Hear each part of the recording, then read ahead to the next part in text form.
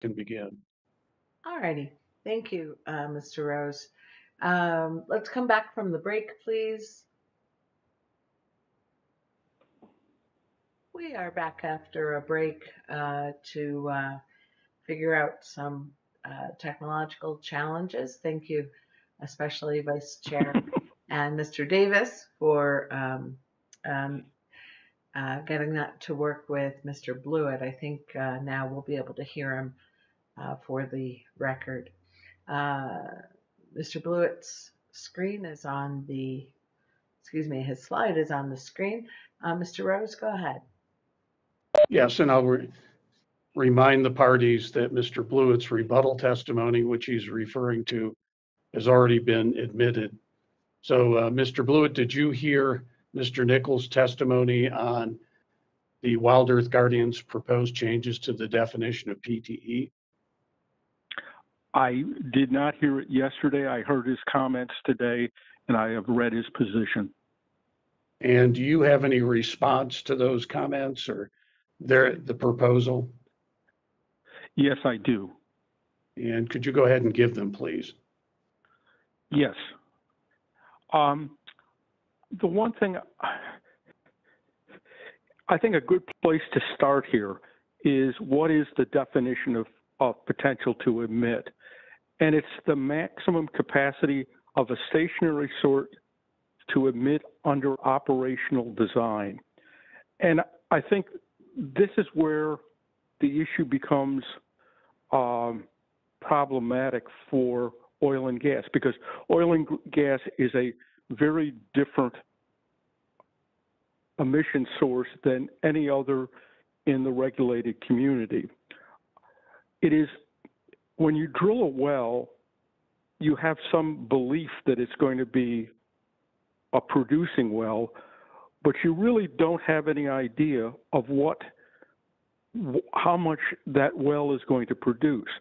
And you really can't determine what the what the flow of that well or the pr- production of that well is until the well becomes operational.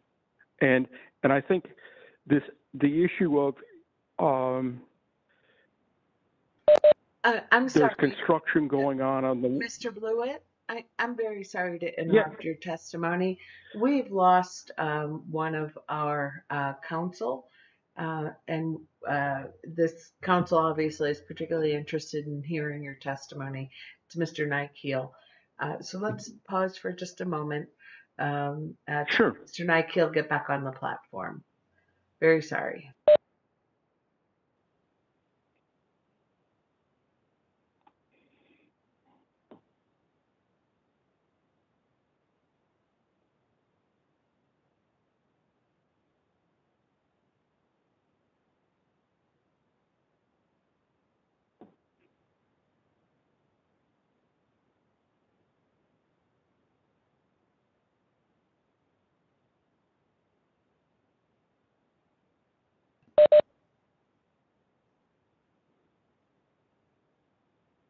Know if Mr. Nykiel can hear me. If you have rejoined us, Mr. Nykiel, uh, let us know. We're waiting. Thank you. I apologize. Okay. Uh, when it rains, it pours, but I'm back. Apologize for that. Thank you. Go ahead, Mr. Okay. Well, and, and do we Let, need let me any of his testimony here? Um, I don't know when Mr. Nykiel ended up getting, uh, being severed from this process, but we can go back if we need to. Um, if you wouldn't mind, and again, I apologize, but yeah, that would be helpful. That's, that's fine. Let, let me, let me start by the definition of potential to emit. And it's the maximum capacity of a stationary source to emit under physical and operational design. And it's the design issue that's really different for uh, oil and gas. If you think about the any other regulated uh, air pollution source, the issue becomes you design a plant to produce whatever, and you know what you're going to design um, the plant to emit.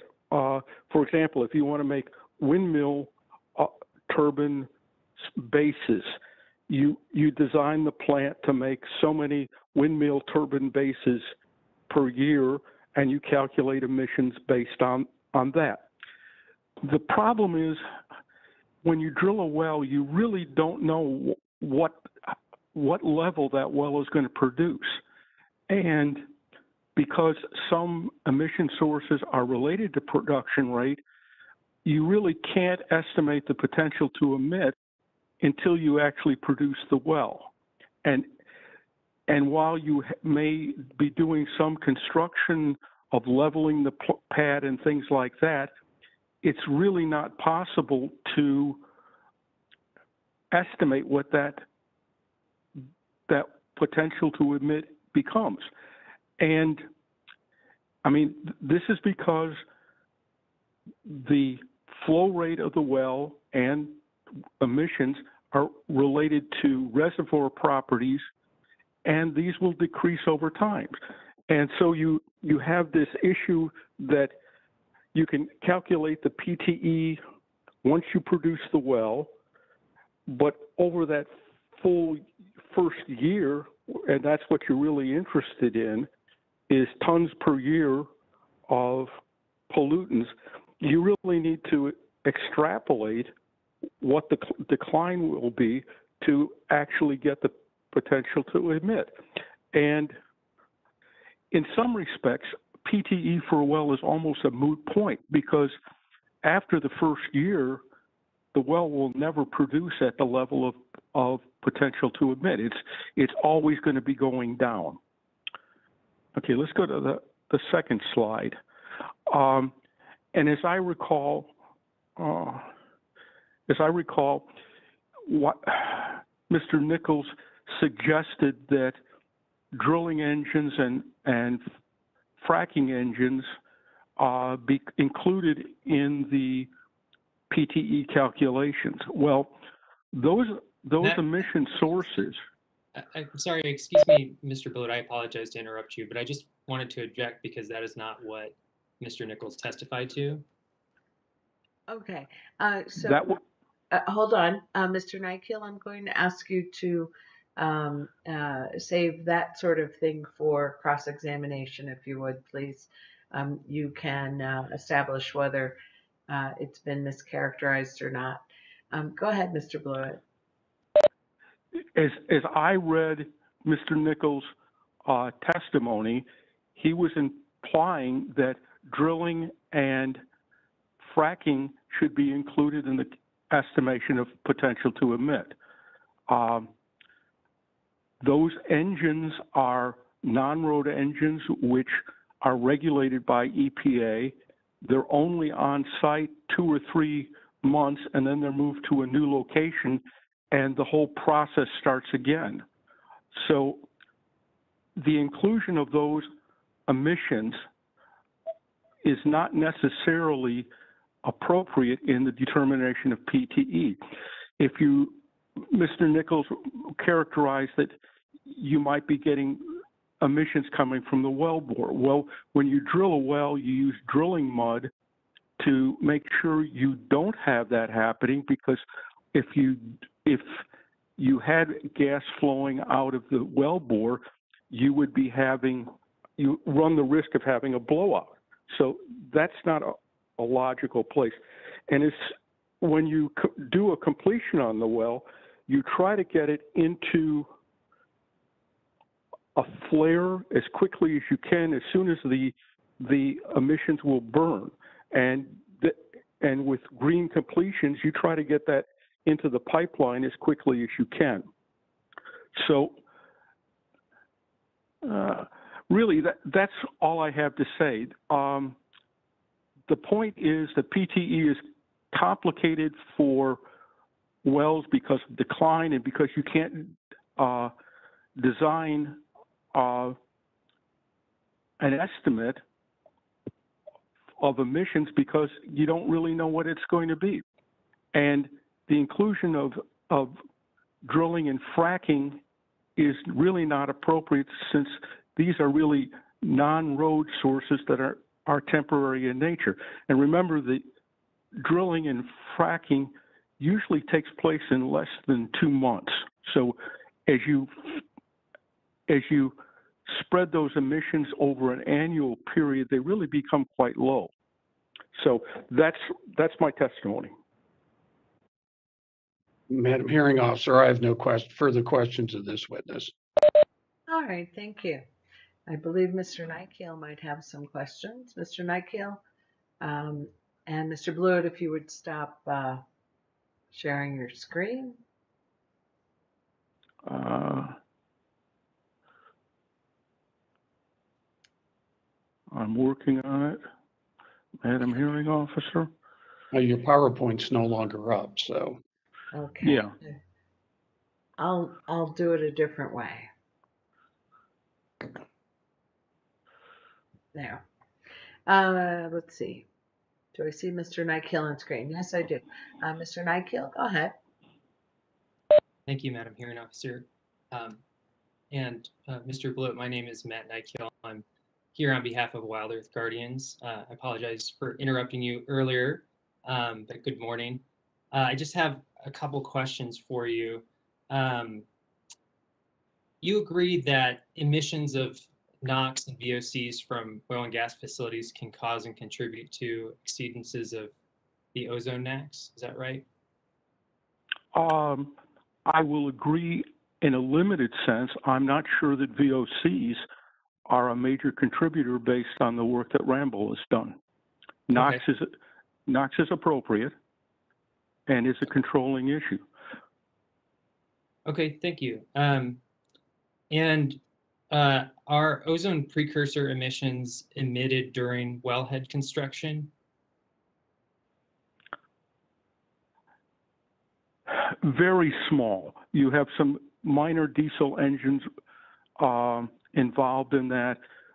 Typically, those emissions are quantified and modeled during any type of EIS analysis. So they have been, they have been analyzed and they're shown to be uh, rather insignificant.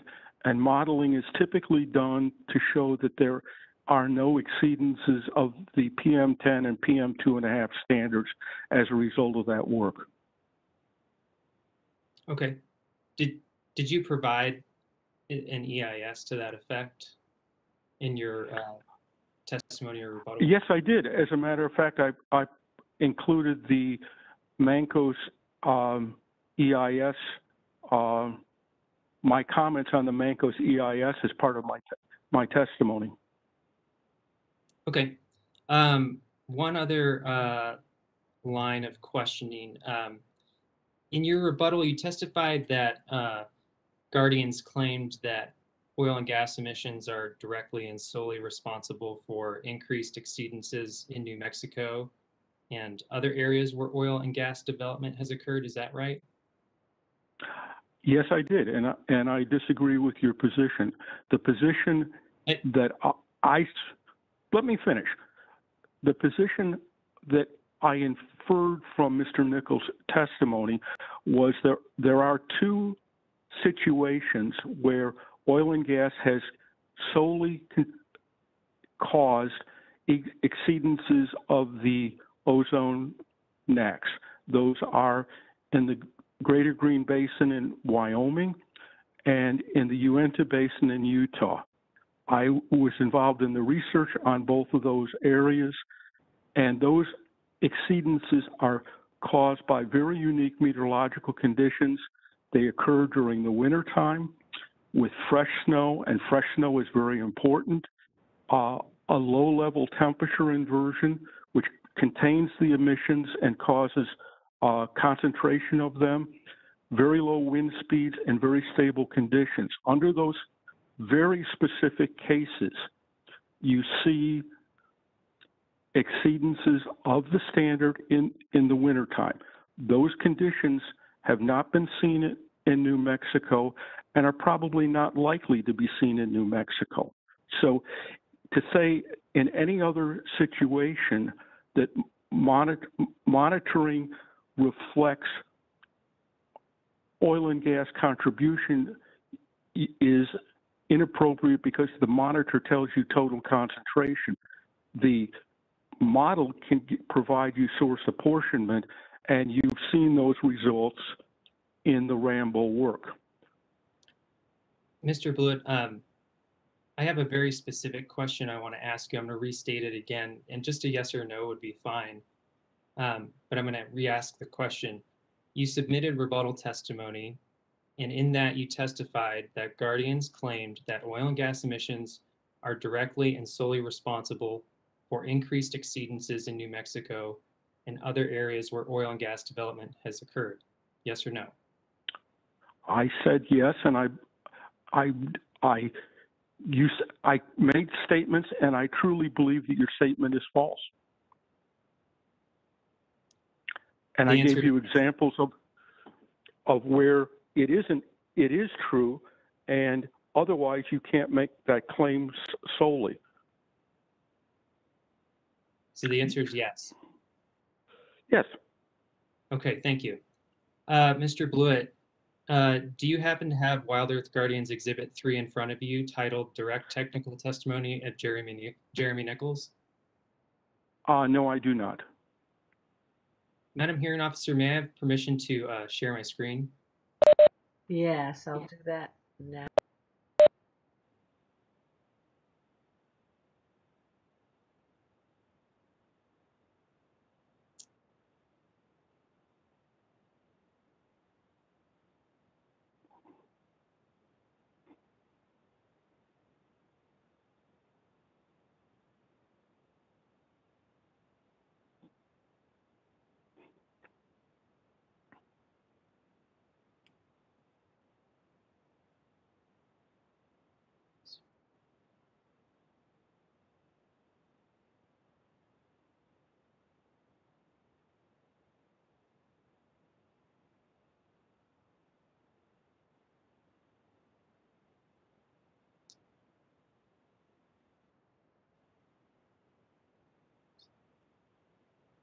Apologies, I'm just um, granting permission to myself to allow um, the screen to be shared. Figure figure that out.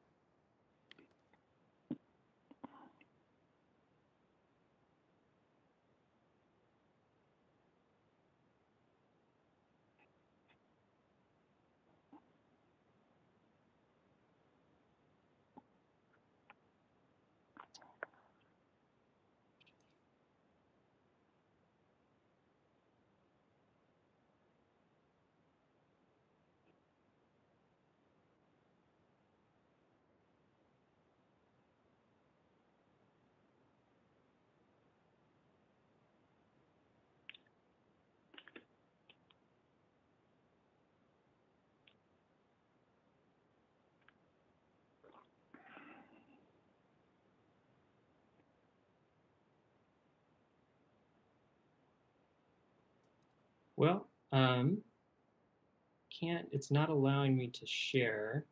I'm trying to.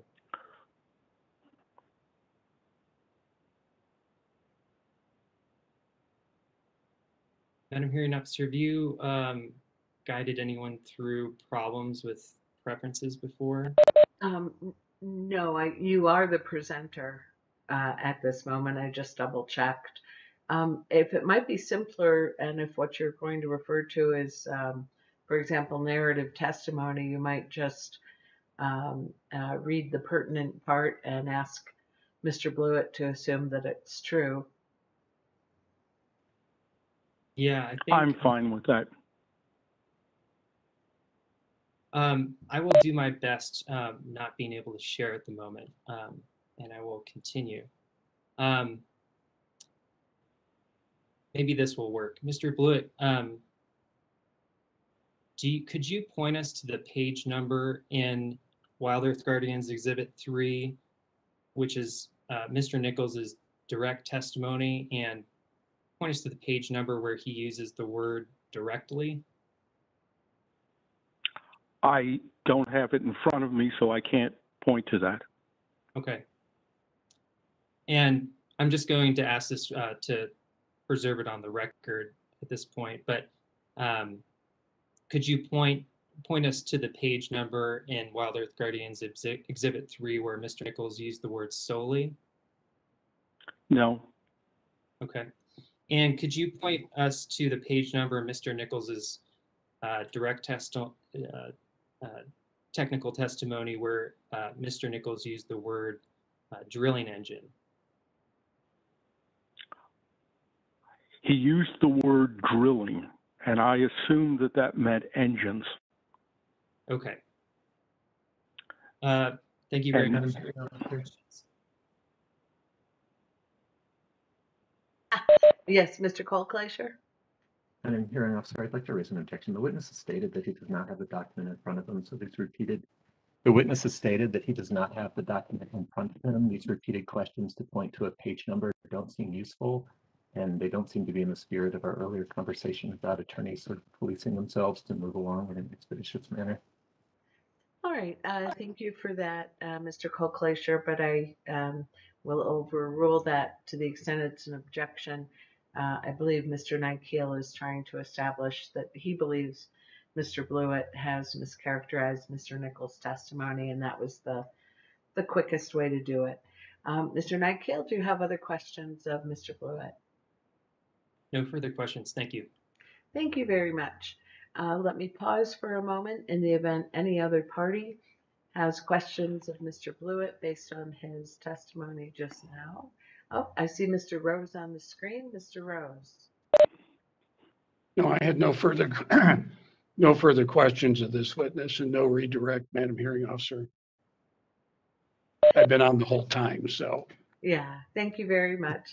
Uh, thank you, Mr. Blewett. Um, I'm going to turn now to Thank you, the board. Madam. Hold, hold on. The board now uh, gets to question you. Um, so I'm going to turn to the board for their questions. Uh, and uh, while I'm doing that, in the event you're on the platform and have a question uh, as an attendee, uh, please reach out through the chat. Madam Chair, do you have questions of Mr. Blewett? Thank you, Madam Hearing Officer. Uh, I don't have any questions at this point. Thank you. Thank you. Vice Chair Trujillo Davis.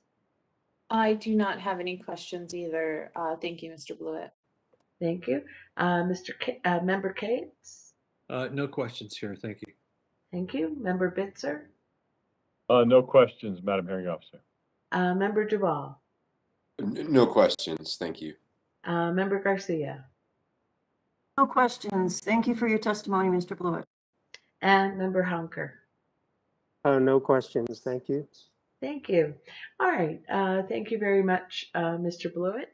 Uh, we can excuse you now for the for the time being. Thank you. Thank you very much for your, your help. Bye. Thank you. All right. Uh, and uh, whom do we hear from next? I believe Mr. Heiser said that we won't be hearing from uh, NMOGA anymore on this topic. Uh, so, Ms. Uh, Katz, uh, do I understand you have some surrebuttal? Oh, uh, wait a minute. I see Ms. Spall on the screen. Ms. Spall? Commercial Disposal Group has testimony on this subject matter. All right, so we'll go to Commercial Disposal Group first. If you would call your witness. Yes, uh, my witness is Il Kim. Ah, I believe I saw witness Kim and have just um, panelized the witness. Um, will you require screen sharing privileges? No, Okay, thank you Thank you. very much. I'm not yet seeing the witness on screen. Oh, there we go. Oh, hello, Mr. Kim. Uh, Hi. let's check your sound. Yeah, how does it sound? I think it's good. Thank you. Uh, would you raise your right hand? Do you swear or affirm to tell the truth? I do. Thank you. And if you would spell your name and make sure to um, give us a heads up as to any exhibits near the beginning here. Uh, my name is Il Kim, spelled I L, last name Kim, K I M.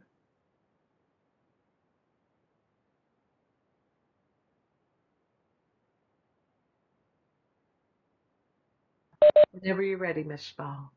okay, thank you. Um, good morning, members of the board. I am Casey Spall, representing the Commercial Disposal Group. Um, Mr. Kim's written testimony is Appendix A to the group's um, notice of intent, and his uh, CV is attached as Attachment A. His rebuttal testimony is Appendix A to the Commercial Disposal Group's notice of intent to file rebuttal testimony. Uh, Mr. Kim, please state your name, employer, and position for the board. My name is Il Kim. I'm a senior air permitting engineer and I work for NGL Energy Partners LP. And can you briefly summarize um, your experience relevant to this rulemaking and the testimony you'll provide? Yeah, I have uh, over 10 years of experience in various consulting and oil and gas firms as an air quality technical advisor for oil and gas operators, uh, as well as other industries. I've managed air quality permitting, uh, compliance programs, due diligence reviews, uh, numerous environmental projects uh, that also include ESG greenhouse gas calculations uh, and sus- sustainability. Um, and I, you know, one of my big tasks are to just ensure regulatory requirements are met. Thank you. And have you prepared direct and rebuttal testimony in these proceedings? Uh, yes, I have. Uh, I submitted direct testimony regarding regarding one hydrocarbon liquid transfers and two storage tank vessels. Uh, I submitted rebuttal testimony on the same topics as well as definition of tank battery. And if I ask you today, um, in your direct and rebuttal testimony, would you say the same thing that you did in your written testimony? Yes. Thank you. And do you adopt that, adopt that testimony here today? Yes. Um, before I ask Mr. Kim for a verbal summary of his testimony and his position on the department's current proposal, I offer his written direct and rebuttal testimony into the record. Uh, thank you, Ms. Spall. I don't remember that there were objections uh, to Okay. your exhibits, but let me pause for a moment. In the event there are. No, the exhibits are admitted. Thank you. Thank you. Um, Mr. Kim, in the last red line that we received from uh, NMED, the department determined that it was unnecessary to include a definition of tank battery in the proposed rule. Um, do you agree that a definition is not needed in this rule? Yes, uh, the group supports the decision not to include a definition of tank battery into the proposed rule because it has already been defined elsewhere in the New Mexico Administrative Code in section 20.2.38.7E. And uh, Mr. Kim, does that conclude your testimony on this issue? Yes. Thank you. He's now available for cross-examination. Thank you, Ms. Spall and Mr. Kim. I'm going to pause a moment in the event other parties have questions of Mr. Kim. Please uh, turn on your screen.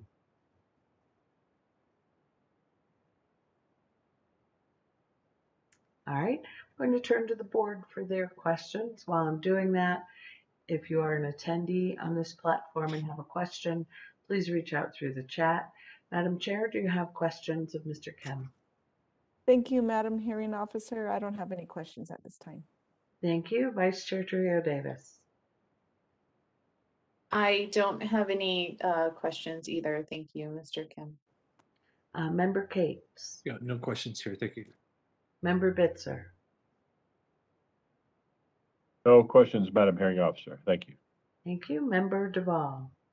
Uh, no, Madam Chair. Member Garcia. No questions, thank you. Thank you. And Member Honker. Uh, Yeah, one question, uh, since I don't have the New Mexico Administrative Code in front of me, can you explain uh, the context for the definition elsewhere in the code? Yes, so uh, the definition uh, is located in another section of the New Mexico Administrative Code. Um, the definition defines uh, tank battery as a tank or group of tanks that receive crude oil or condensate from a well or storage uh, for storage until shipment.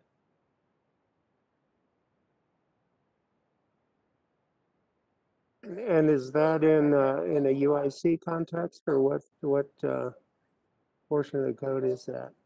I believe that is hydrocarbon storage facilities, uh, it's, it's for the oil and gas portion of, of the, uh, New Mexico Administrative Code.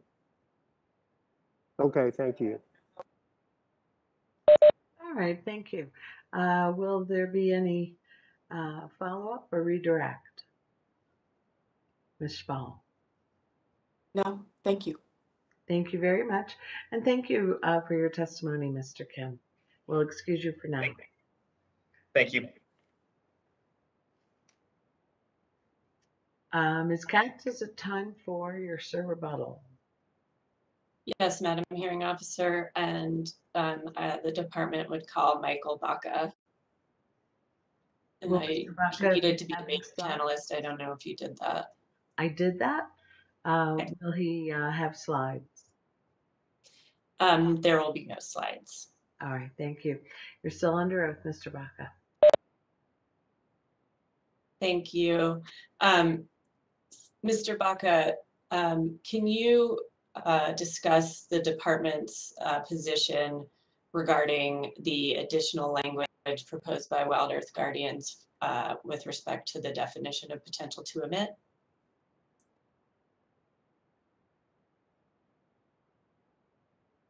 Sure. Can you hear me? Thank you. So NMED opposes the inclusion of this additional language to the definition of PTE um, because we want to maintain consistency with the definition um, as provided in the department's permitting programs. Um, so while NMED regulates equipment located at well sites, um, we do not approve permits to drill.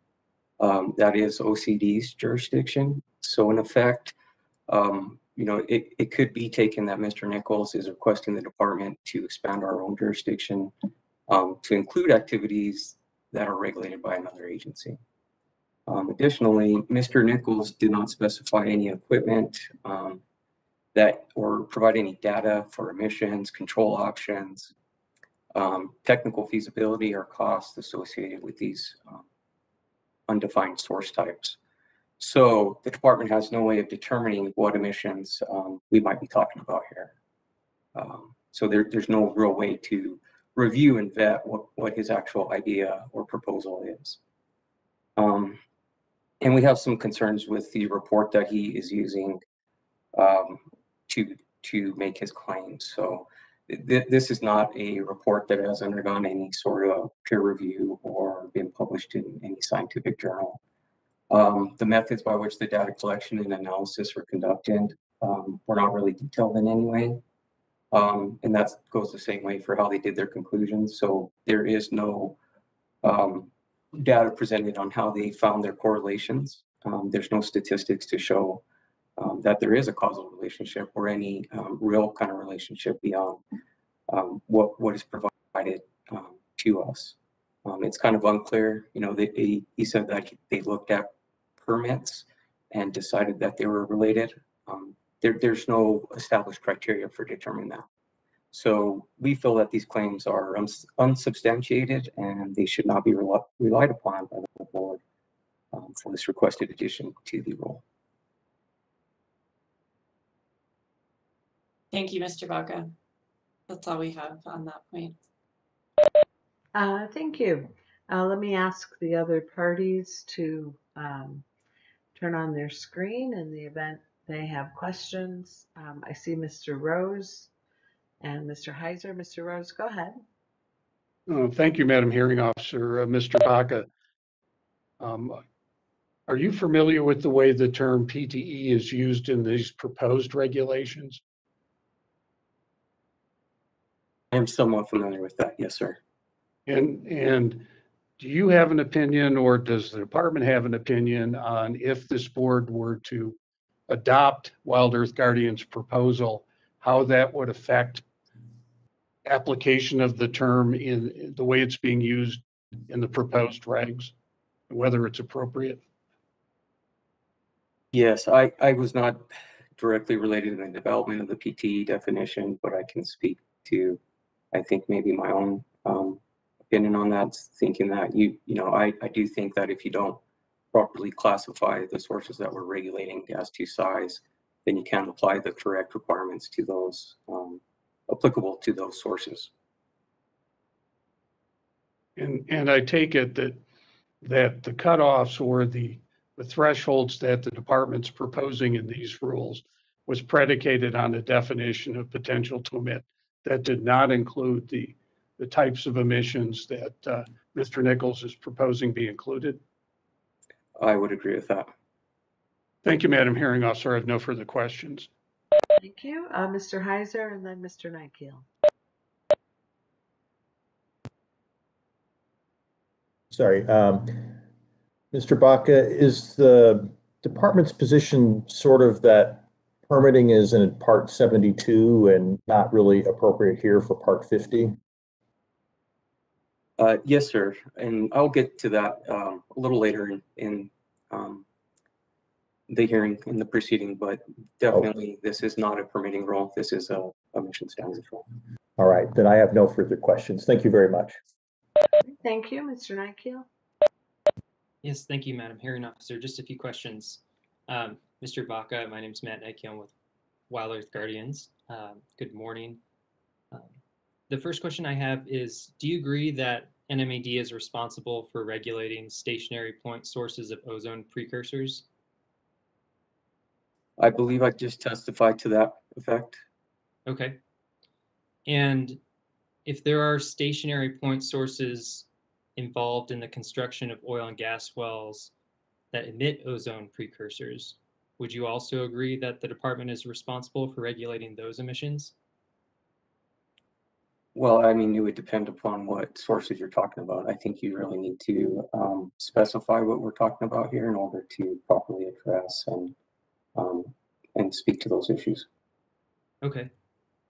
Um, so for example, what about the well borehole?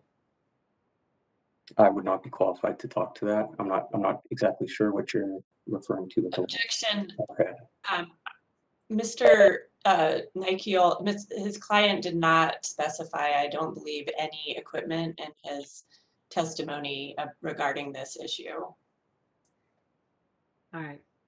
Um, do you want to uh, rephrase that, uh, Mr. Nykiel, or move on? Um, well, I just asked that because it, um, Mr. Nichols gave that example as an answer to a question of the board.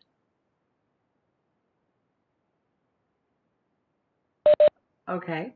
Um, do you have other questions of Mr. Baca? Yes. Um,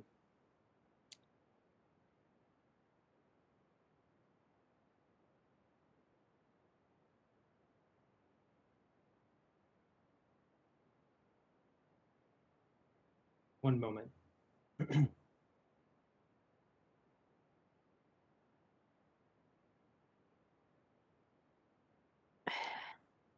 You testified that the uh, definition of potential to emit proposed by the department is consistent with the definition in the federal regulations? Yes, I did testify to that. Okay. And No, I'm, so, I'm sorry. I, testified that it is consistent with the department's permitting programs okay, and the way that we uh, calculate PT and that. okay. Um, is uh, is there any language in the Clean Air Act that precludes the board from adding clarity to the definition of potential to emit? Um, in this rule, I, I don't think there would be, but I don't believe that what is being proposed would add any clarity. I actually believe that it would provide more um, confusion. Um, and like I spoke to before, we, we're not even specifying what pieces of equipment we're talking about in this proposal. So there's no way for me to really uh, give you a good answer on, on a lot of what we're talking about now. It's all in hypotheticals. Okay.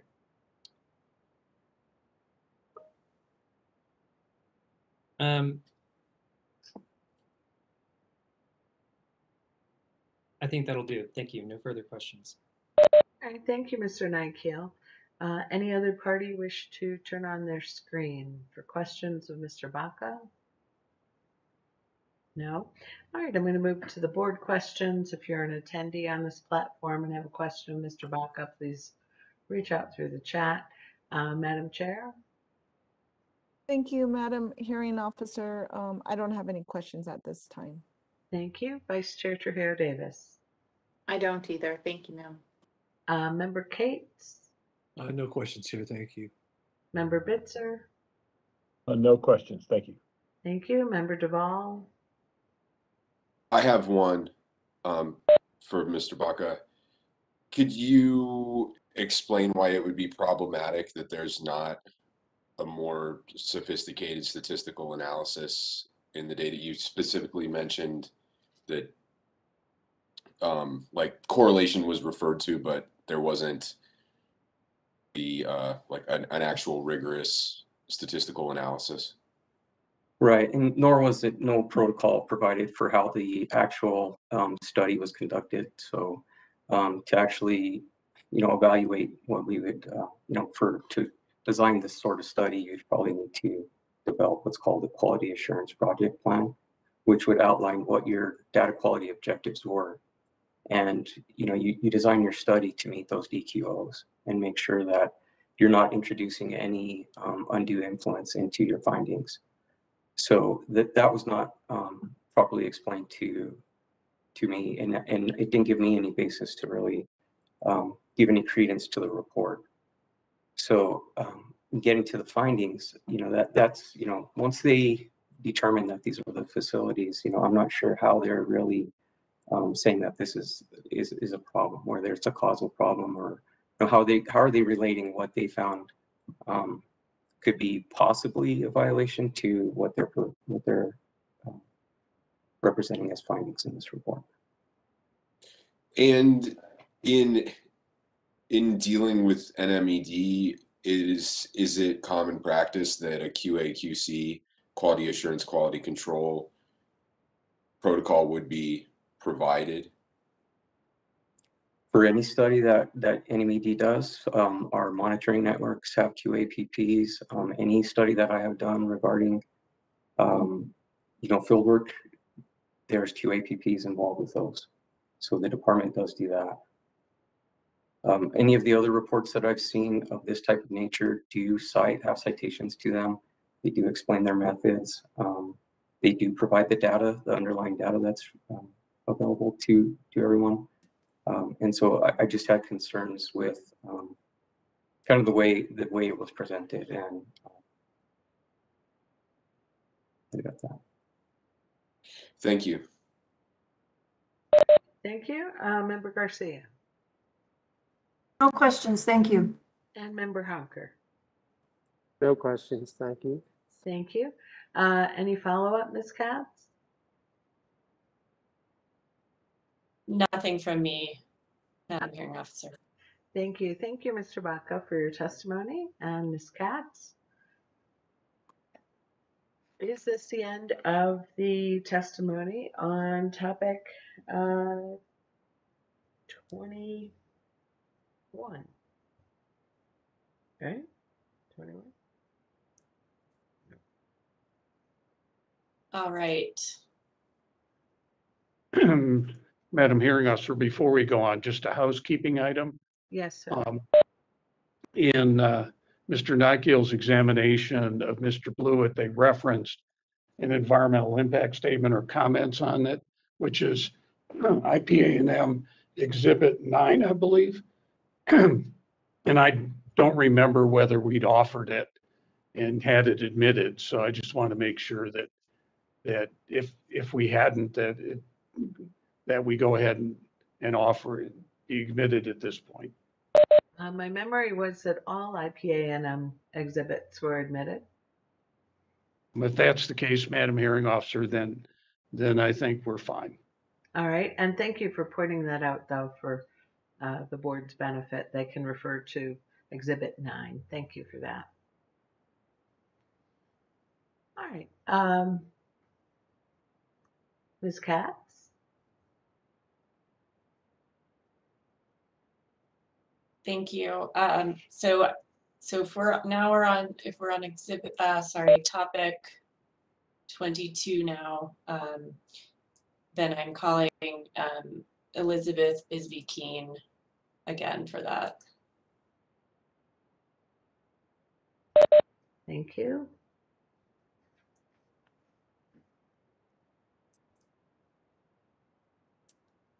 And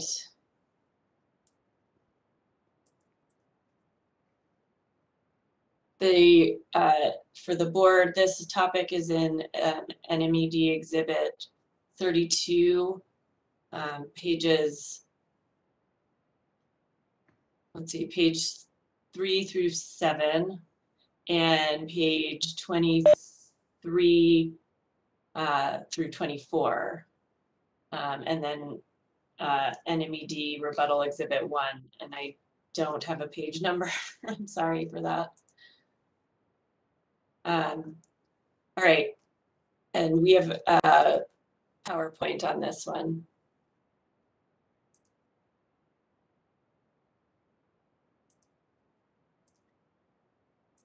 I'm sorry, Ms. Katz, what did you say the um, first exhibits were? Um, that was NMED exhibit 32. And that's the, that's going to be the um, exhibit for all of the rest of this testimony on the, the rule provisions from NMED. And um, there's a table of contents associated with it. And of course, I had it in front of me and I wrote down things on it, but I can't find it at the moment. um, and it was pages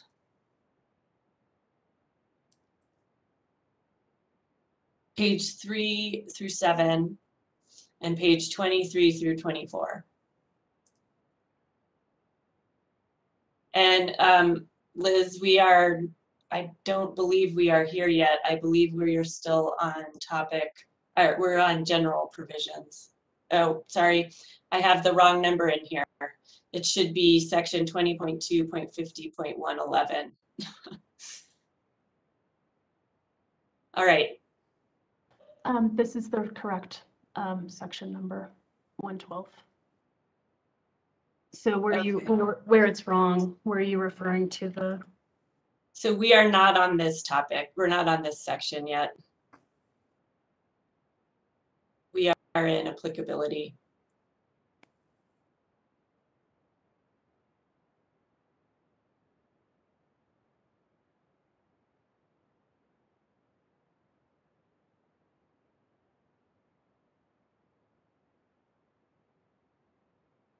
So, okay, so.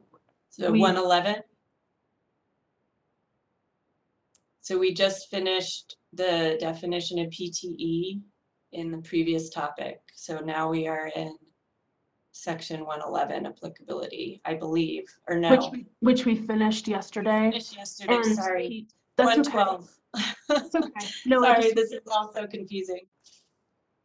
That's okay. I just wanted to make sure we're all. You're on the right. Okay. And Madam Hearing Officer, Ms. Ka- Ms. um, Katz, uh, I'm just making sure the same references are for. the No, 12. they're not. Okay. Sorry, this is my fault. No Um, problem. Thank you. Let's see. Okay, so for this one, the reference, the page references are uh, NMED page, uh, Exhibit 32, page 24 for- through 30, and NMED rebuttal, Exhibit 1, 21 through 27. My apologies for that.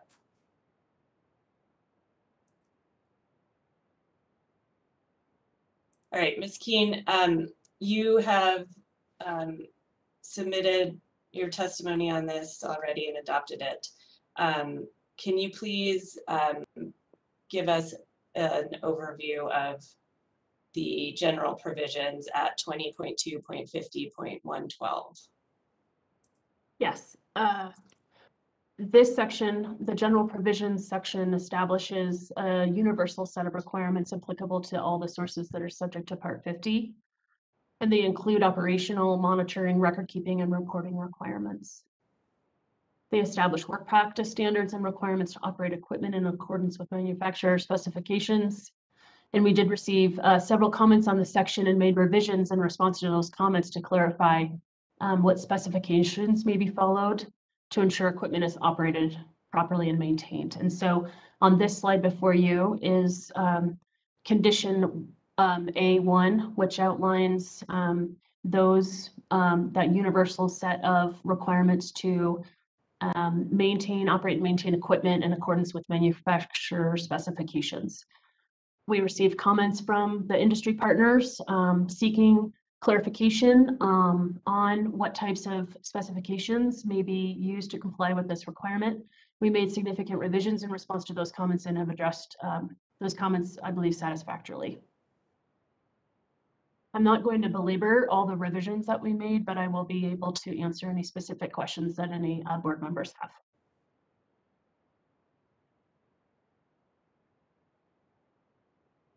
This Okay. slide um, is, sorry, d- yep, I'll, I'll just proceed if that's okay. Yes. Ms. Katz, okay. The second uh, condition establishes a general duty clause to minimize emissions um, and also requirement to develop a database system capable of storing the compliance information for equipment subject to this part. Our initial proposal had a requirement to um, physically tag uh, monitoring um, for monitoring equipment. And the, the requirement to physically tag sources that are subject to this rule have been removed. Um, we received extensive feedback from, again, the industry stakeholders on um, the, the concept of the EMT, um, that it was not technically feasible.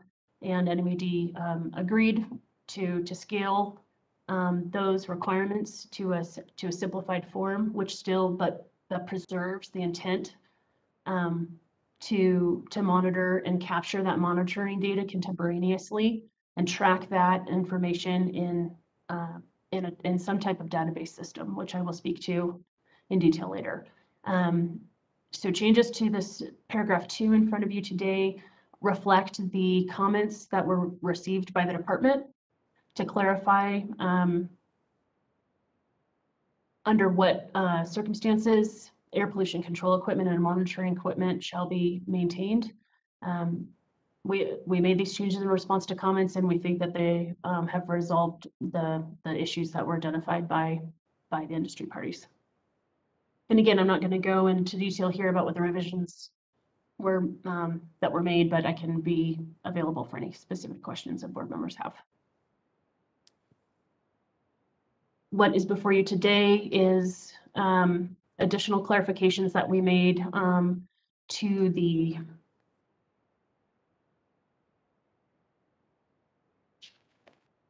one second, to the paragraphs um, within paragraph three and the sub-paragraphs within that section. This provided uh, clarifications that um, were necessary to um, specify what type of um, emissions were required to be kept and other minor edits that um, don't substantively, substantively change the intent of this, this section. Um, and then we've deleted, of course, the requirement to install an equipment monitoring tag. And we've clarified the, uh, the information um, that has to be maintained in the compliance um, database system.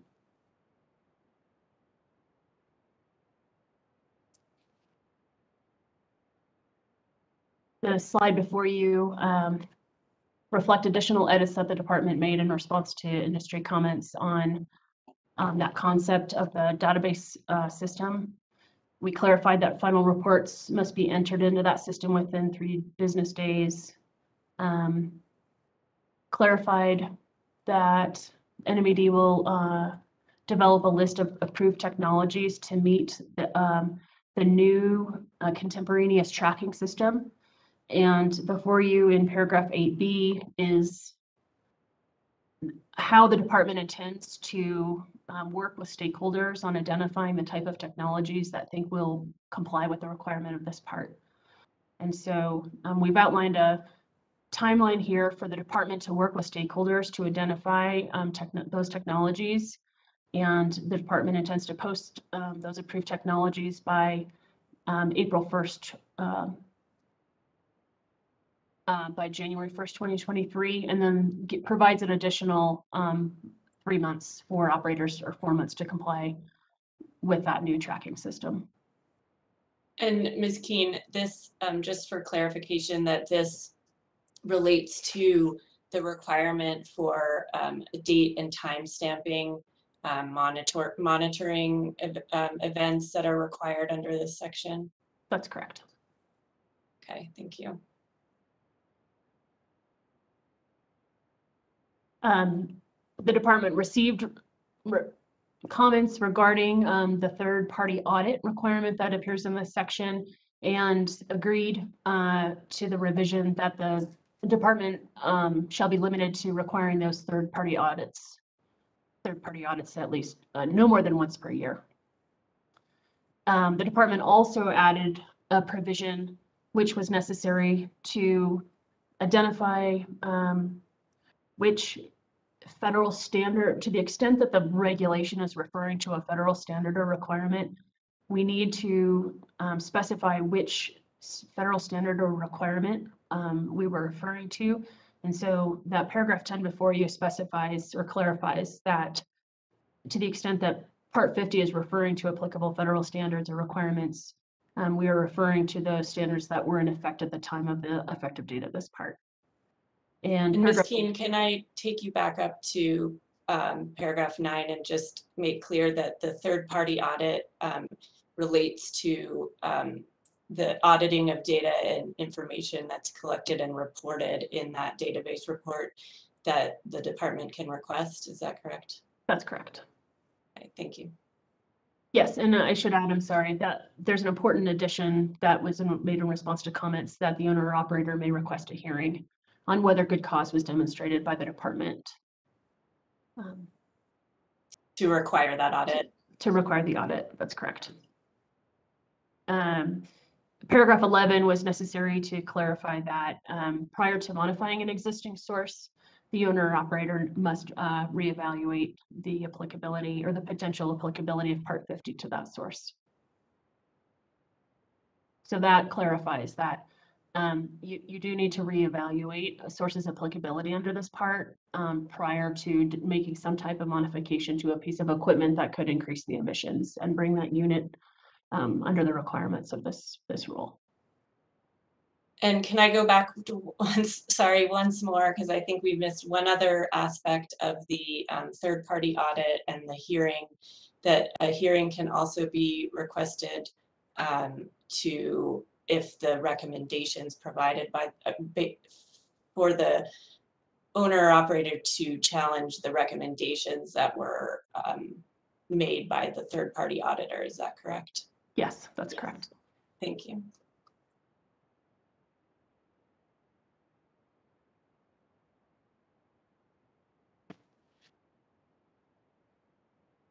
This slide um, refers to the, provides a summary of the general monitoring requirements under the general provisions. Um, We received uh, requests for, um, from the industry parties that when we were referring to the term monitoring, that we um, add monitoring, testing, or inspection within the meaning of that term. And we've added this first paragraph in order to clarify that. Uh, When the term monitoring is used in this part, it includes um, monitoring of equipment and testing or inspection requirements. And then we made other minor, um, minor edits to refer to the, the concept of an alternative monitoring strategy, which is limited to the, the LDAR or the fugitive leak section, which we'll get to, um, on Monday. And Ms. Kuehn, can you just briefly touch on what the monitoring requirements are here? Just briefly summarize them. Sure. So th- this uh, requires owners and operators to conduct a monthly inspection of equipment unless that a different schedule is specified in the section to that source type. So this is a this is a baseline equipment check that's done once per month on equipment subject to this part.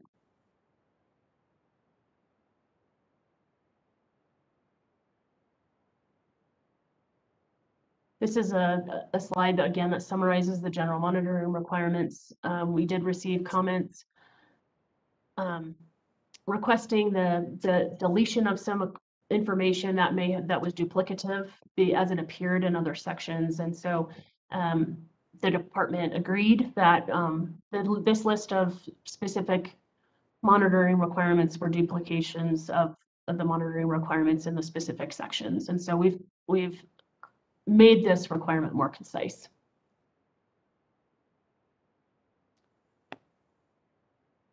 This slide covers the general record keeping requirements um, that require the, the actual recording of, of monitoring that's required under this, under the general provisions. Uh, we revised the rec- record keeping requirement to clarify um, who can conduct the record, the record as required by this part. Um, we deleted language in paragraph two um, because the department is already available, is already able to, um, to treat loss of, or failure to maintain a record as, um, as a failure to collect that data in our enforcement actions. We've also added a new provision um, in paragraph three that requires an annual compliance evaluation and certification of all the terms and conditions of this part. We think this is uh, an essential um, compliance certification of the requirements of this part. And if operators are correctly monitoring and record keeping um, and conducting the, the proper record keeping of records required under this part, the compilation of this data into an annual compliance certification should be um, fairly straightforward and should not um, require, uh, you know, additional resources.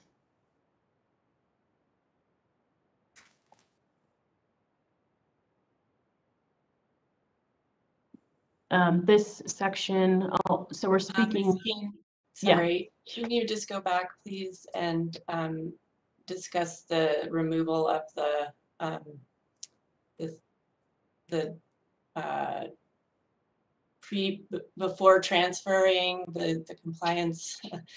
Sure. Sorry. no, that's okay. And we received extensive comment from stakeholders, um, on the, on, on a previous requirement in, in the proposal that required owners and operators to um, conduct a full compliance evaluation before the transfer of equipment. We agreed that um, it was improper to, to have that um, analysis conducted prior to transfer of ownership. And so we have instead replaced that requirement with the annual compliance certification.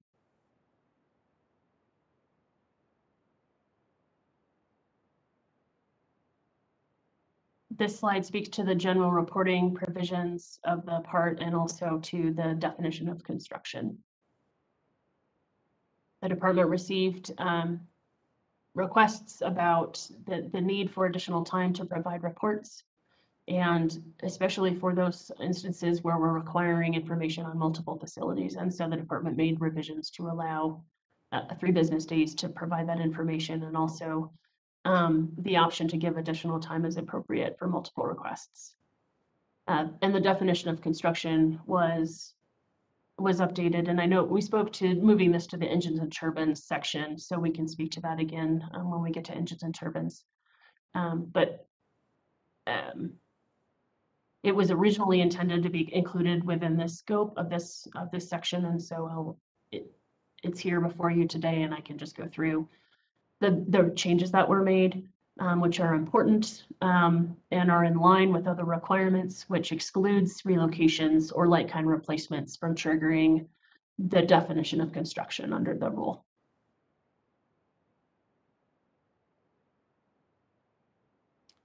And that's the end of the presentation.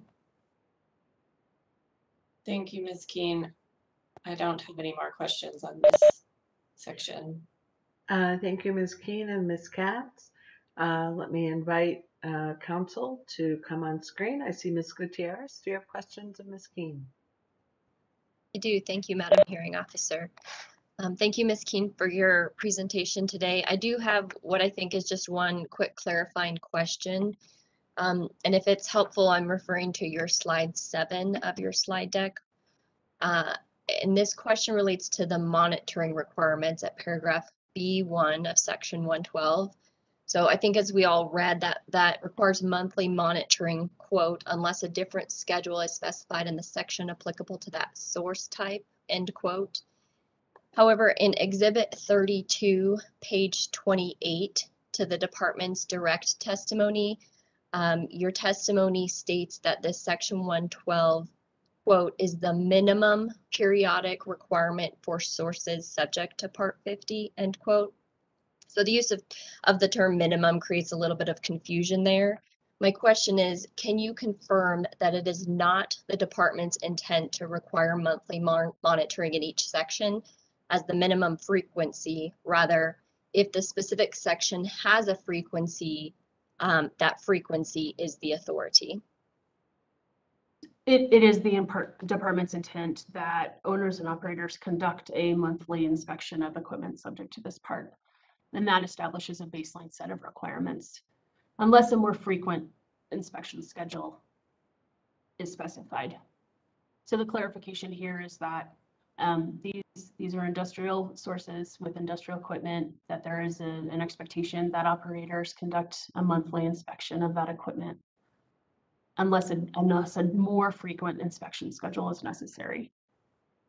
So maybe perhaps just a follow-up question there, um, because we have different frequencies in, for example, the leak detection that are less frequent than monthly. This monthly monitoring at 112 would not overturn what is in section 116. It would not specific, no, it would not overturn the, those frequencies in one sixteen. And similarly, in the pig launching and receiving section, there are certain frequencies for inspection that may be less frequent than monthly um, if you are not pigging or launching as frequently as monthly. I And think this we can make- would, I think, I think we can make a clarification on the rule that speaks to those specific circumstances. okay. Thank you, and no further questions. Thank you, Ms. Gutierrez. I saw Mr. Heiser on the screen. Thank you, Madam Hearing Officer. Good morning, Ms. Kuehn. Uh, First of all, we'd like to say thank you for all, going through all these many comments that you've received and obviously giving consideration to many of them. One of the ones that I think is important for us is the idea of the compliance database system that the department has introduced in this rule. And in some cases, that appears as a system. In some cases, it appears as systems. In some cases, it is system with the S inside parentheses. And I just wanted to clarify that your general intent was that we can have multiple systems involved in supplying the information so long as we're able to produce the CDR within the required timeframe or the other information within the required timeframe. That's correct. Um, in the discussion where you talked about the uh, date and time stamp, um, have you done an evaluation of the cost from the department's perspective of how much that would cost us to do across the state, or at least across the affected counties, excuse me? So that is not necessarily an, an added um, system that has to be deployed. That can be implemented, I think, in through in the current compliance monitoring program that owners and operators already implement. We are hoping to identify um, apps that can be um, that are hopefully you know free to download that can contain the type of information that we would like to be recorded contemporaneously with the monitoring event. Okay. But at this point in time, and I think as you've laid out in your proposal, you haven't identified those. And so you're asking the board to say, trust the Bureau, we're going to be able to come up with something that works to all parties. Well, there's, there are many um, existing apps that you can download that have date time stamp um, options for those. And so um, I have no doubt that we'll be able to identify a suite of technologies that can meet the intent of that requirement. And we are not, um, we are going to, the, the plan is to work with um, industry parties on identifying technologies that meet that intent.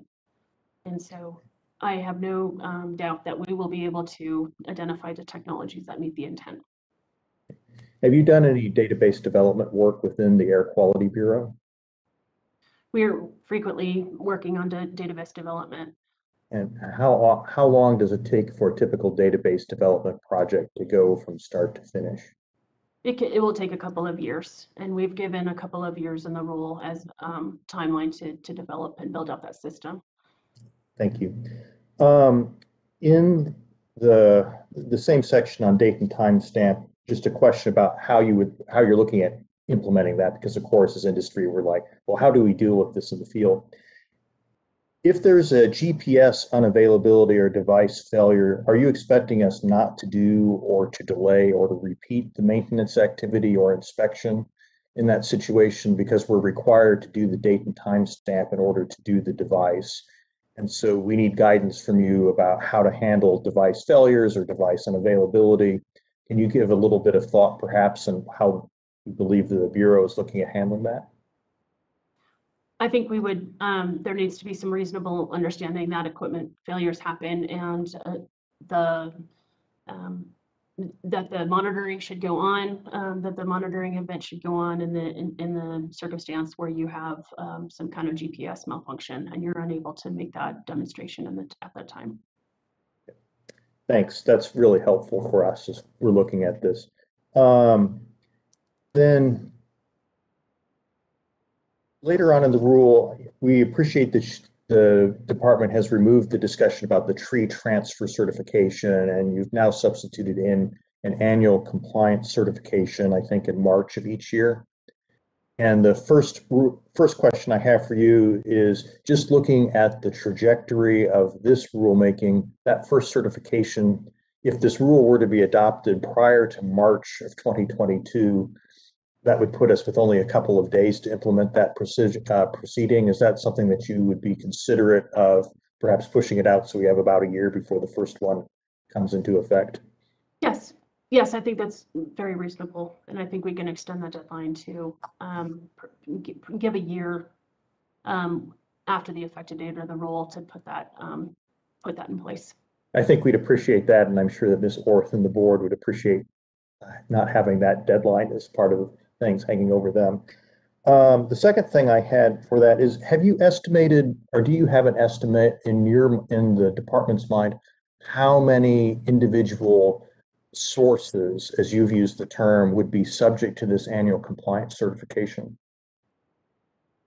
Because we've heard that there's like 30, I guess nearly 50,000 wells or somewhere in that range. And, but wells are only one part of this uh, rule. If you add all the other pieces of equipment, do we have some sense of how many pieces of equipment are potentially covered? It depends on the facility and the, the universe of equipment that they have on the site and whether or not that equipment is subject to the part. But the certification requirement, doesn't it go to each of the individual sources identified in your rule? It does, correct. So the sort of, yeah, so the individual certification will be per facility and the per facility um, will, and the number of sources will be dependent on the type of facility that that, that that facility is. And so a well site facility may have ten pieces of equipment that are subject to this part. A gas processing plant may have twenty pieces of equipment that are subject to the part. Yeah. And um, so it- anyway, it's going to be hundred, hundred thousand at least, probably, just thinking about the number of facilities that we have. Have you given a thought to how much time in the department's view you would have to spend on each of those individual sources to prepare that compliance certification?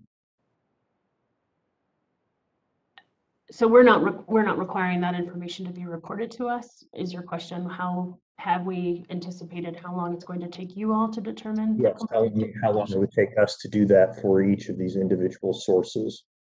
I think if, so if owners and operators are, com- are complying with the monitoring and record keeping requirements that are in the rule, it should, that, that information on that record should already exist. And so I, this will be a compilation of those existing records into a certification report, which I think should be automatic if you have a, a, a good man, an equipment, environmental management, uh, system in place.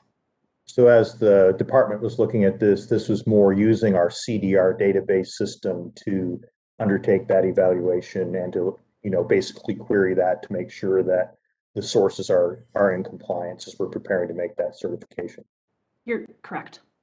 Thank you. That's a very, that's helpful for us to understand what the department is thinking of for our obligations. Um, Then, um, in the very last section, we had proposed and you had accepted a provision giving a little bit more discretion in how much time we had to respond if, say, we were to receive a request for 20 facilities at a time, for example. And in your testimony, you say would, but in the language, you say may, and there's a big difference between would and may. Are you guys willing to consider possibly a little bit more affirmative statement on that one word, maybe a will? It still leaves you the discretion to determine how much time to grant, but it's a little bit stronger that if there's a, a large number of facilities, we will get some extra time. Yes, we can, we can agree to that. Uh, I believe that that completes the questions that I had for you, just mostly the nature of clarifying what the department's intents were. We appreciate your time on this, really we do. Thank you. Thank you, Mr. Heiser. Uh, let me see, Mr. Nightkill, I see you on screen. Thank you, Madam Hearing Officer. Just a few questions. Uh, Good morning, Ms. Kuehn. Um, The annual compliance certification um, in the proposed rule, that is not required to be submitted to the department, is it? No, it is not. And for the compliance database reports, um, those are also not required to be submitted to the department unless, or uh, unless there's a request from the department for one or more. That's correct. And that's, in- that's consistent with uh, how most air regulatory agencies handle um, that type of record keeping. Thank you. Any other parties with questions of Ms. Kuehn on this topic? Not seeing any new screens. Uh, I'm going to turn to the board members for their questions. While I'm doing that, if you're an attendee on this platform and would have a question, please reach out through the chat. Uh, Madam Chair, do you have questions? Thank you, Madam Hearing Officer. Yes, I, ha- I have a couple of questions. Um, thank you again for your testimony, Ms. Kuehn. Um, I just want to, um, have it clarified in, in my head. Um, you had mentioned during your testimony that, and, and I could see, um, in real time, uh, some of the industry representatives, um, uh, and your interaction about the language and about ne- basically negotiating the language. As, um, for any of these items that you spoke about in this portion of your testimony, did you get, um, any other feedback from other organizations other than the industry on these? Uh, Madam Chair, we did not. Okay. And, um, to the annual compliance certification, I know also in public testimony, we heard some concerns from uh, some folks from the public regarding some of the added monitoring and compliance um, measures being proposed. From your perspective um, and your interaction with the industry, um, is there still that, a, a large concern about the added um, costs that the certifications and the monitoring will, will be on the, um, on the industry? Um, Madam Chair, I'm, I misspoke, and I, I, so I believe WildEarth Guardians did submit, um, comments on the, on the general provisions section, and um, I apologize for that error. um, But I want to make, the clear the record on that point. Okay. And in, as, as far as costs go, we are, uh, we, we are aware that there are concerns about added costs of, of, of implementing the rule. However, uh, the, the cornerstone, the keystone of any, uh, any emission standard is, is demonstrating compliance with that emission standard. And so you, you need to have um, associated monitoring of that equipment and some type of record that the monitoring was conducted to ensure compliance with that standard. And so um, it necessarily follows that you, you must have some type of, um, some, some way to track and record that information. And it is the intent of the department to work with those small operators and build um, a template um, in Excel and, and work with small operators that need that extra assistance to build a type of uh, database management system for them. And um, with tools to, um, to generate reports that would meet the intent of the compliance database report. Most of the large operators already have enhanced um, environmental management databases where they're already tracking that information. Um, we are aware of, of very small operators that probably don't have that type of advanced database system. And so we, we are, um, we are, we will and are working on, um, providing some type of template for those operators that need that kind of assistance.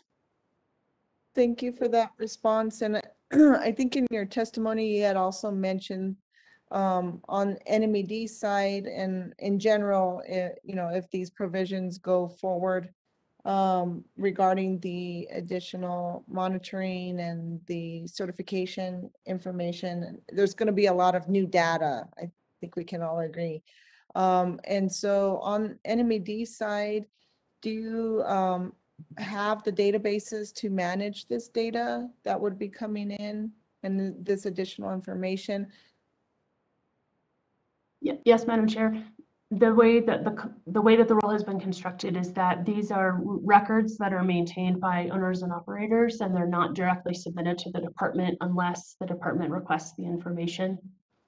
And so, and we do have online compliance report systems that most of our um, permitted facilities are used to dealing with. Um, So we do have the systems in place to handle that data should we request um, that information. Okay, thank you so much for that. And then um, you had talked about, I think in your testimony about a, you know, some, because it will be more if the rules or provisions get, get um, added into the, the rule. um, There will, you know, I think you mentioned a two-year, pro, you know, time frame, and I think Mr. Heiser brought this up. Um, You know, depending on timing of the rule. um, what is your thought? You know, you said two years and then Mr. Heiser in his cross examination, you know, was, was also um, concerned about the timing as well. If, if it got passed in the springtime, a year, if, if, I guess my question is if um, stakeholders needed that additional year or, you know, to your point of two years, would that be allowable? Would, The, or would NMED work with those, um, those, uh, those, uh, stakeholders? we- we certainly will work with any stakeholders that are presented with real, um, real issues and, and we'll try and address those and give them time if they need it. Uh, The, the current requirement is that the owners and operators d- develop this database system within two years of the effective date of this part. So that gives them two full years to, to get the system going. And it, it is our intent to assist those small operators with a template so that they have something um, that meets, meets the requirements of this part. Great, thank you for that clarification. Um, that's all I have, Madam Hearing Officer. Thank you, Madam Chair. Uh, Vice Chair Trujillo Davis, do you have questions? Yes, thank you very much. Um, well, uh, thank you, Ms. Kuehn. I'm gonna start with, just by saying, uh, looking at this monitoring, I'm just trying to wrap my head around, um, around it. The, one of the companies I've worked for in the past had three employees that were dedicated to, uh, air inspections, and that was their full-time job was every month, they, they got a list and they went out and did did all of the air inspections required for LDAR, AVO, and Flare, in addition to um, our, our voluntary um, inspection program. So uh, the monthly inspections that NMED is proposing, are they at, they're outside, as I understand it, of the LDAR, AVO, and Flare required inspections? They are, this is just, this is a, a, a monthly inspection of equipment that is subject to this part. It's ensuring that the equipment is operating as intended and we can provide um, more specificity in the rule about what that monitoring should entail, but it is, it is an operational check of that equipment. And it is beyond the LDAR inspections. And Okay. beyond the specific, um, like testing inspections or testing requirements for engines. Um, and other testing requirements that are in the rule. And did you receive any comments from any of the parties, or was there any discussion around streamlining inspection events? So, uh, and I'm not asking outside of monthly thing, but so that way a monthly inspection could cover a variety of inspections, possibly including flare or LDAR, any of those. That is exactly correct. There, we received one question about what the intent of the term monthly was, which I spoke to a minute ago. That was really, I think, the only comment we got on the term monthly, but it is, um, operators should be able to streamline these inspections by, by covering that same inspection or by including that same monitoring requirement in their monthly inspection to streamline those requirements.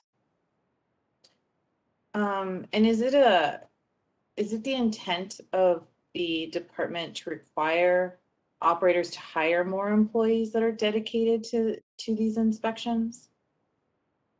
So it may be necessary for some owners and operators to add employees to cover the, uh, these requirements. It- It's not our intent, but that may be, that may be the reality. And um, as we've seen in other portions of the rule, is there any issue with operators hiring consultants uh, to do it and certifying those um, results? No, they have, um, if you're a responsible official making decisions on behalf of the company, um, consultants can perform that type of a, a monitoring on behalf of the company. And in a previous testimony, I think the statement was made that there were, in the past, when consultants did that work, that there were errors made and that it got the company into some long-term compliance issues and the department was trying to avoid that. Is that not a situation that you see happening here? So the, that conversation was about the PTE calculation and the need for an in-house engineer with specific experience to sign up on the PTE calculation. Um, There are, there's a requirement, which we'll get to when we get to the um, control device enclosement system section. There's a requirement for a closed system device certification, which is limited to in-house engineers. Um, there is not that same requirement for conducting the monitoring required under this section. Um, the owner or operators take that risk on when they, when they hire consultants to do that type of work. It may result in future compliance issues for, for the company.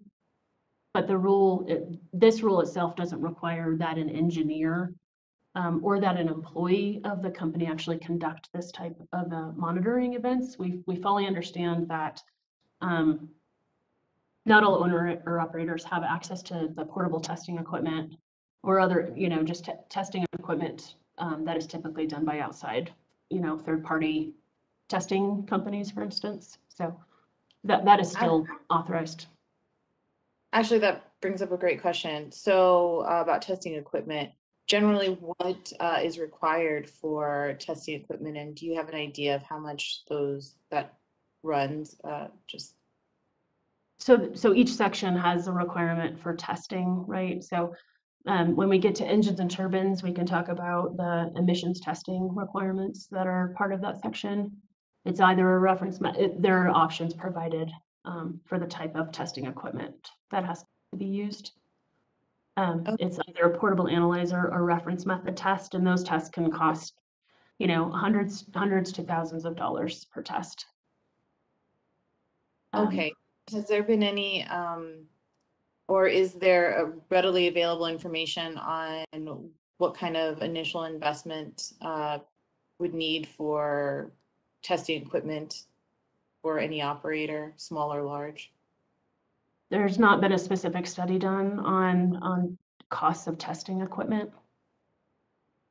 Okay, and the reason I, I ask, because it kind of sticks in my head, um, we've heard a lot of people reference the cameras. And I believe last time I heard it was close to hundred thousand dollars for a, a camera. Is that sound about right? That's correct. Okay. Uh, Member Trujillo Davis, I would just ask that, so there's all of that testimony is going to be presented with the LDAR section. So I, I think it's going to be much more helpful to have those discussions about the specific equipment and that type of issue when we get to those particular sections. Okay, thank you. Um, yes, I was just trying to kind of wrap my head around what monitoring would entail on a monthly basis. So thank you, Ms. Kuehn, for asking, for answering all my questions. Thank you. We have about another five minutes before we need to break for lunch. Uh, Member Cates, do you have questions? Yeah, um, I'm sort of interested in the redlining process. Um, so the, the, um, the, the, uh, the, the rule text that we saw today, there's lots of redlining in it. And, um, you know, my question is along the lines of, well, you know, part of it is to address, I suppose, this, you know, there is a belief among some people out there that the state writes rules at the behest of the uh, administration um, to, you know, tighten up the industry, and that the state writes the rules and gives them to the industry, and the industry um, rewrites them. And so, um, you know, so there's that percep- perception, Ms. Kuehn. I was hoping you could just speak to that. Uh, so, so specific, specifically, my questions then are: the redlining comes from? Does it come mostly from the uh, New Mexico Oil and Gas Association? Does it come mostly from the um, whatever the uh, uh, independent operator association is? Is it a combination of those things? Um, do you do a round of edits? Do you just um, do you typically accept the edits that they propose? Um, I I mean, that's that's just my sort of general line of questioning, and I was hoping you could explain, you know, go into that um, uh, a little bit without taking up, without taking up too much time. Sure, Member Cates, of course. We, we received um, edits from all the parties that are involved in this rulemaking proceeding and accompanied with their, uh, their, their direct and rebuttal testimony. They're required to provide um, language to implement their, the comments that they've made. And so all parties have submitted red line strikeout versions of language that they would like changed. We reviewed all of those comments that we received um, to the extent that we agreed that it provided clarification or um, was better um, stated or was more clear or more concise, we generally agreed that those edits could be made, so long as they didn't um, change the intent of the requirement. In other cases, there were real um, tech- technical uh, issues that were identified that had to be addressed, um, that were addressed in the red line version and with our direct and rebuttal testimony. And so um, we did not simply adopt um, changes by any party. Those were vetted, those were carefully reviewed, carefully um, considered and, and vetted prior to making any changes to our, our draft rule. Um, and this version of the rule reflects comments received from all uh, stakeholders. Uh, and by all stakeholders, you mean, um, like, you know, WildEarth Guardians, for instance, you know, the environmentalist community and so on, right? Yeah. Cor- Correct, to the extent that we could agree with what the request was. Yeah. And do you have any feel for how, you know, how, what, what was, what percentage of the edits did you accept? Was it half of them? Was it 80? Was it, was it 100%? But We received thousands and thousands of pages of uh, direct and rebuttal testimony. And sometimes the parties work together to, to submit um, versions that they agreed to without consulting other parties. We had other uh, industry groups submitting their own that didn't necessarily agree with other parties. We had um, three, we had several stakeholders work together and agree with each other's comments on things. So it was like iterations. It was every iteration of, of of, of work, of collaboration um, and not collaboration between the parties. And so we had to look at the universe of the information that we received, um, wh- whittle it down to those um, things that we could accept and um, make the necessary changes and, and kind of move on. But the, it, each section was engaged with differently by different stakeholders. Yeah. So, and- yeah, Right, and it's, as you, as you're, as you're suggesting, it's, it's a lengthy process. It, takes, that took weeks, months? We, we've worked, yeah, we work, we work 90 hours a week just reviewing comments and making edits. I mean, we have done nothing for the last, we've done nothing but that for the last uh, three months. Okay, so this didn't occur in a smoky back room in Santa No. Fe? Okay. Thank you for your input. I appreciate Uh, thank you, Member Cates. I'm, I'm sorry we will not be able to take a full lunch break every day. Um, uh, but today we must, uh, we do have several public commenters at one. Uh, so we'll accept that public comment and then we'll return to the questioning of Ms. Kuehn with Member Bitzer's questions. Thank you all. See you at one. Ms. Kuehn? I just want to tell you.